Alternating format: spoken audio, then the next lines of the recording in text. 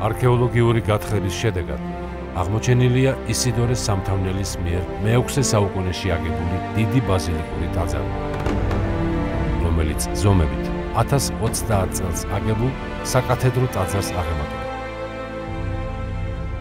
ასევე აღდგენილია მინაშენიანი დარბაზული ეკლესია. ტაძრის ტერიტორიაზე არქეოლოგიური კვლევა-ძიება დღესაც გრძელდება.